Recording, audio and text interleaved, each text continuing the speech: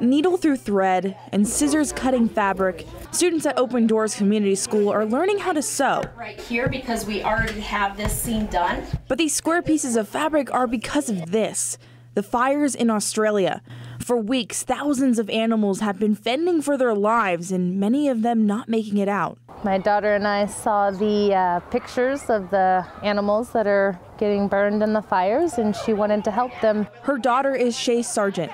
She brought the idea of sewing pouches to her school for the baby animals. So that way there would be more, and that way more animals could get help. These pouches will go to help develop baby kangaroos and koalas because many of the adult animals died in the fires. This is just another act of kindness that we can do from kindergarten all the way to eighth grade. This is Open Doors principal Carmelan Berry. She says when she was told about this idea, it was a no brainer. Everybody's working together to, to do something so little that will again help so many. Dozens of parents and community members donated their time and resources for this cause. To me, it means that we're just giving a little bit of kindness to other parts of the world. That was Veronica Vernaccio.